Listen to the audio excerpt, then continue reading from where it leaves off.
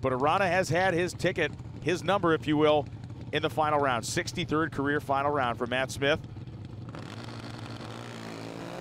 And Hector Arana Jr. goes red. Matt Smith picks up another victory, and with it will pick up the points lead in Pro Stock Motorcycle. 683.9 at 199 miles an hour. Matt Smith came and did exactly what he needed to do. Matt, you entered into this race third in the points. You will lead here, the points leader, with three races left in this countdown. How do you maintain the lead? Do the same thing again three more times. Uh, we come here to win this race. I've never won Dallas. This is one of the only tracks I've never won at. Thank you, Billy Meyer. I want. I got a cowboy hat now. I get one of them bricks up there, put my name on it. And uh, this Denso, Lucas Oil, Mark Stockseth, Greg Butcher Trucking. Everybody helps us. Thank you. Appreciate everything. Woo!